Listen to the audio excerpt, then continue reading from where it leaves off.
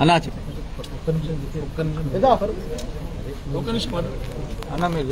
చెప్పండి. ఇవాళ భారతీయ జనతా పార్టీ ఆధ్వర్యంలో గత రెండు వారాలుగా జిల్లా కుమ్రమి మాసోవాబాద్ జిల్లాలో జరుగుతున్న రేషన్ బియ్యం అక్రమాల మీద ఉద్యమం బాట చేపట్టినాం. దానిలో భాగంగా మేము మా మా- మా నిజాయితీని నిరూపించుకోవడానికి లేకపోతే మేము చేసిన ఆరోపణల యొక్క దాని నిజాయితీని నిరూపించడానికి ఇవాళ మేము వా రైస్ మిల్లర్స్ అసోసియేషన్ జిల్లా అధ్యక్షులు సవాల్ విసరడం జరిగింది వారం రోజుల క్రితం.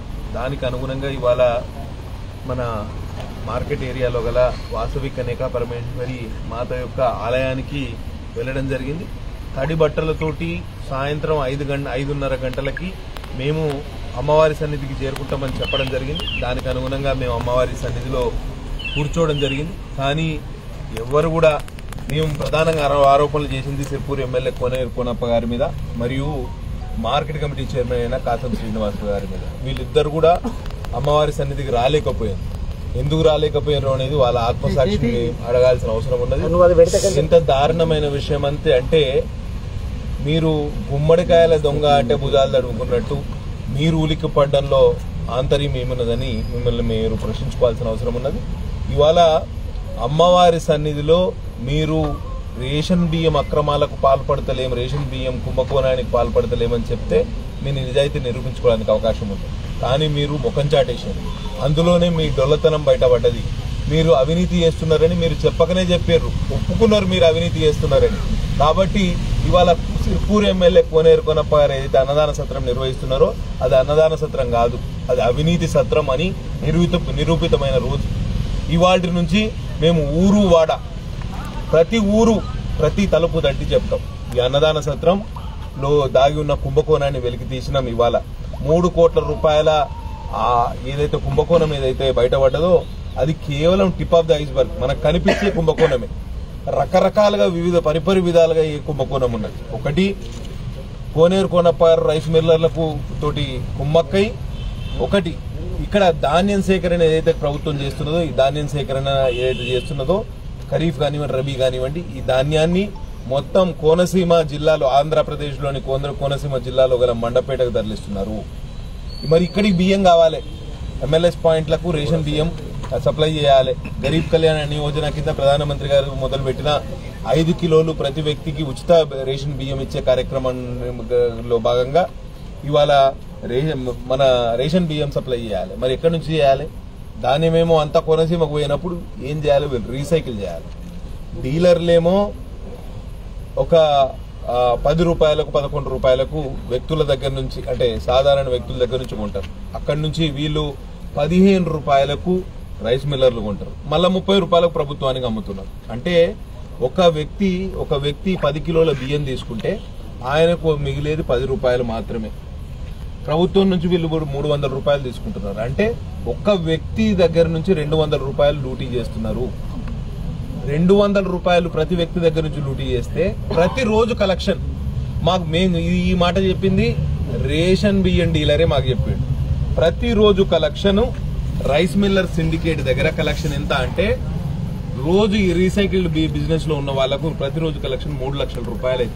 అందులో లక్ష రూపాయలేమో అధికారులందరూ కలెక్టర్ దగ్గర నుంచి మొదలు- పెడితే కింది స్థాయి ఉద్యోగం వరకు అందరు పంచుకుంటారు లక్ష రూపాయలు. లక్ష రూపాయలేమో రైస్ మిల్లర్ సిండికేట్ పంచుకుంటారు ఇంకా లక్ష రూపాయలేమో కోనేరు కోనప్పగారు అన్నదాన సత్రానికి ఇస్తారు. అంటే రోజుకు లక్ష రూపాయల అవినీతి ఈ అన్నదాన సత్రం విషయంలో ఈ రైస్ మిల్లర్లంతా కుమ్మక్కై ఆయన దోచిపెట్టే కార్యక్రమం చేస్తున్నారు. మేము ఆ రోజు ఆరోపణలు చేయరు రైస్ మిల్లర్ల మీద. మేమేమో ఆరోపణలు కోనేరు కోనప్పగారి మీద చేస్తే రైస్ మిల్లర్స్ అసోసియేషన్ అధ్యక్షులు మా మీద ఆరోపణలు ప్రతి ఆరోపణలు చేసాం దానికి మేమంతా అంతా తీగలాగితే డొంకా కదిలే విషయంలో మేము అందరు వీళ్ళ రైస్ మిల్లర్ల యొక్క కరెంటు బిల్లులు కూడా తీపించినాం కమిషనరు సివిల్ సప్లైస్ కమిషనర్ హైదరాబాద్లో ఉన్న ఆయనకు మేము సబ్మిట్ చేస్తే ఆయన మొత్తం ఎంక్వైరీకి ఆర్డర్ చేసాడు మేము ఇవాళ ఒక్కటే చెప్తాను. ఈ అడ్డగోలు అవినీతికి పాల్పడి కోనేరు కోనప్ప గారికి అన్నదాన సత్రం ఒక కామధేనులాగా లాగా కల్పవృక్షం ఉపయోగపడుతుంది. దీని నుంచి కూడా ఆయన డబ్బులు రాబడుతున్నాడు. రోజుకు లక్ష రూపాయలు అన్నదాన సత్రం మీద ఖర్చు అయితే మనకు తెలుసు. కానీ ఆయన కలెక్షన్ మాత్రం గల్లపెట్ట మాత్రం నిండుతుంది. ఈ అవినీతిని మీరు ఎందుకు ఇంపార్టెంట్ అంటే మీరు ఒకసారి సిర్పూర్ నియోజకవర్గంలో రైతాంగం ఒక్కసారి ఆలోచన చేయాలి. మీకు యాసంగి బియ్యం కానివ్వండి వర్షాకాలం బియ్య- బియ్యం కానివ్వండి వడ్లు కానివ్వండి మీరు ప్రభుత్వానికి అమ్మితే ఈ రైస్ మిల్లర్లు ఎంత కటింగ్ చేస్తున్నారండి? పది నుంచి ఇరవై కిలోల కటింగ్ చేస్తున్నారు. ఆ కటింగ్ చేసిన బియ్యం అంతా వడ్లంతా ఈ కోనేరు కోనప్పకు నగదు రూపకంగా ముడుతున్నాయి. ఒకటేమో రైతాంగాన్ని ముంచుతున్నారు. సామాన్య ప్రజల దగ్గర నుంచేమో ఈ రేషన్ బియ్యం వాళ్ళకు పది రూపాయలు ఇచ్చి ముప్పై రూపాయలకు మళ్ళా ప్రభుత్వం ప్రభుత్వానికి అమ్ముతున్నారు. అంటే రీసైకిల్డ్ రైస్. అందుకే మీకు ఎక్కడ కూడా సన్న బియ్యం రేషన్ షాపుల్లో రావట్లేదు. సన్న బియ్యం అంతా మార్కెట్లో అమ్ముకుంటారు వాళ్ళు. కేవలం వాళ్ళు ఏం చేస్తున్నారు? దొడ్డు బియ్యం ముక్కిపోయిన బియ్యం ఆరు నెలలు ఎనిమిది నెలలు తొమ్మిది నెలలు సంవత్సరం సంవత్సరంన్నర మిగి కింద హార్వెస్ట్ అయిన ప్యాడీ నుంచి తీసిన బియ్యాన్ని ఇవాళ అమ్ముతున్నాం. నేను ఒక్కటే చెప్తున్నా మొన్న కమిషనర్ గారిని కలిసినప్పుడు చెప్పిన. గరీబ్ కళ్యాణ్ అన్న యోజన కింద కేంద్ర ప్రభుత్వం ఐదు కిలోలు ఏదైతే సప్లై చేయమని చెప్పిందో ఐదు కిలోల లెక్క తీస్తే మొత్తం కుమ్రమి మాసిబాద్ జిల్లాలో పన్నెండు వేల మెట్రిక్ టన్నుల పన్నెండు వేల మెట్రిక్ టన్నుల బియ్యం కావాలి. అంటే ఈ మూడు నెలలు జిల్లాలో ఉన్న బెనిఫిషరీస్ సప్లై చేయడానికి లబ్ధిదారులకు సప్లై చేయడానికి పన్నెండు వేల మెట్రిక్ టన్నుల బియ్యం కావాలంటే ఇవాళ మీరు ఒక్కసారి ఆలోచన చేయలేదు ఇవాళ రైతులు కానివ్వండి సామాన్య వ్యక్తులు కానివ్వండి పత్రికా మిత్రులు కానివ్వండి. ఈ పన్నెండు వేల మెట్రిక్ టన్నుల బియ్యం కావాలంటే మనకు ఇరవై వేల మెట్రిక్ టన్నుల కన్నా ఎక్కువ సంఖ్యలో మీకు ఇరవై వేల మన మెట్రిక్ టన్నుల ధాన్యం అసలు వచ్చిందా? వస్తే ఇప్పుడు ఉన్నదా ధాన్యం? మనం రైస్ మిల్లలో ధాన్యమే లేదు. రైస్ మిల్లలో వడ్లే లేవు. కానీ వీళ్ళు బియ్యం ఎట్లా సప్లై చేస్తారు? ఒకసారి ఆలోచన చేయండి. ఈ బియ్య బియ్యం అంతా రేషన్ షాపుల నుంచి మళ్ళా ఎమ్మెల్యేస్ రేషన్ షాపుల నుంచి కొని మళ్ళీ రైస్ మిల్కి వస్తుంది. రైస్ మిల్ నుంచి ఎమ్మెల్యేస్ పాయింట్కి వస్తుంది. మళ్ళీ ఎమ్మెల్యేస్ పాయింట్ నుంచి మళ్ళా రేషన్ షాప్కి వస్తుంది. రేషన్ షాప్ నుంచి మళ్ళీ రైస్ మిల్కి పోతుంది. ఇదే రీసైకిల్డ్ రైస్ ఈ రీ ఈ పీడిఎస్ రైస్ రీసైక్లింగ్ దందా చేసుకుంటా మా మీద ప్రత్యారోపణలు చేస్తారు. దమ్ము ధైర్యం ఉంటే నువ్వు కూడా అన్నదానం చేయమనంటారు. నేను దమ్ము ధైర్యం ఉంటే మీ తిరంగా అడ్డగోలు అవినీతి పాల్పడాలన్నా మీ తిరంగా గల్లపేట పెట్టుకొని పిచ్చగాని తిరంగా రోడ్డు మీద తిరగాల పది మందికి అన్నం పెట్టి పెట్టగలిగితే పది మందికి అన్నం పెట్టగలుగు పెడతాం మేము.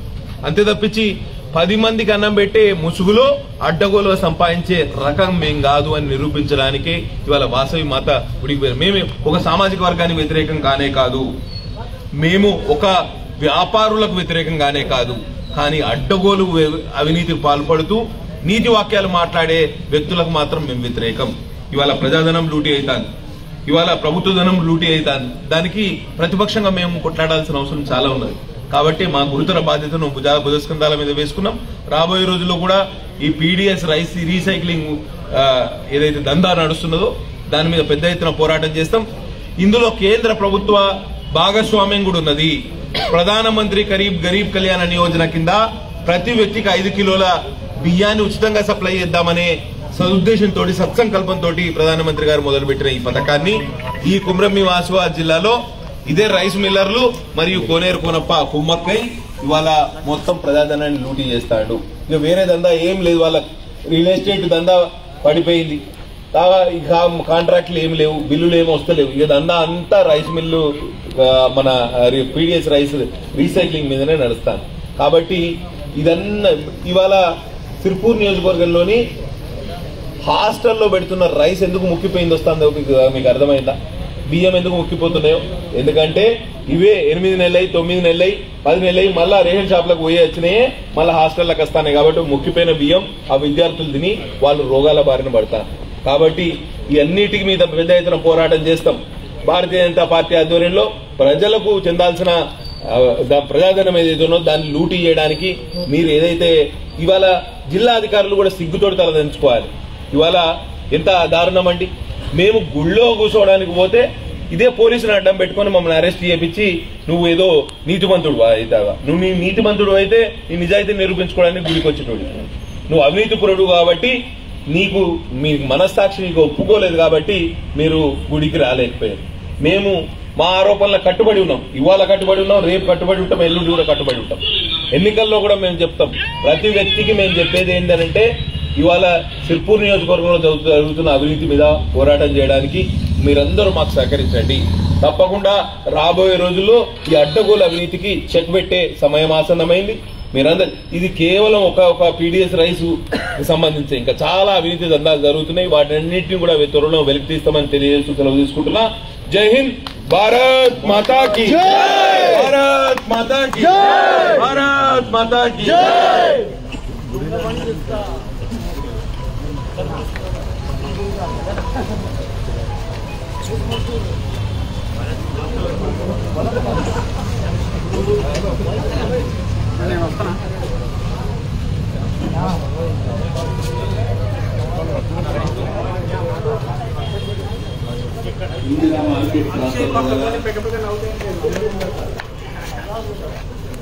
మన వాసవి కన్యకా పరమేశ్వరి మాత యొక్క ఆలయానికి మేము చేరుకున్నాను చేరుకోవడం. మేము టైం చెప్పింది ఐదున్నర.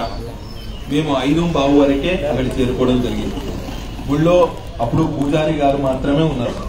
మేము గుళ్ళో ప్రదక్షిణ చేసుకొని తడి బట్టలతో వస్తామని చెప్పినాం కాబట్టి ఆ నల్ల కింద మేము నిల్చొని తడి బట్టలతోటి మేము అక్కడ ధ్యానం చేసుకుంటా ఉంటాం ఆ టైంలో ఎస్ఐ గారు హుటాహుటిన లోపలికి వస్తాడు మన వాళ్ళ మా నాతో పాటు వచ్చిన కార్యకర్తలందరినీ దూరం నెట్టేసి నెట్టేసి ఇక్కడికి మన లోపల నొక్కరిని నిర్బంధ- నిర్బంధించడం జరిగింది.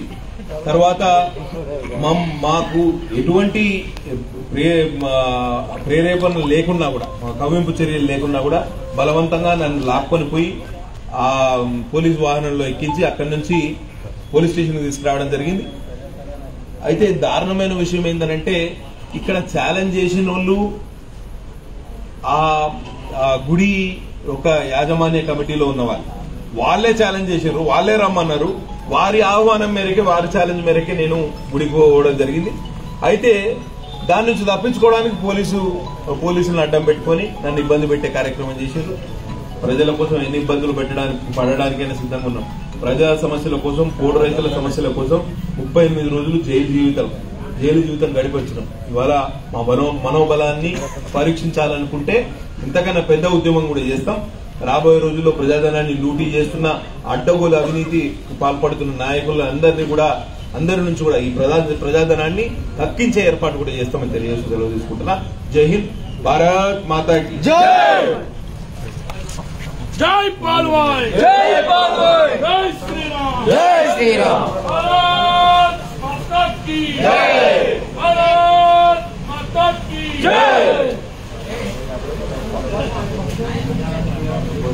देखो।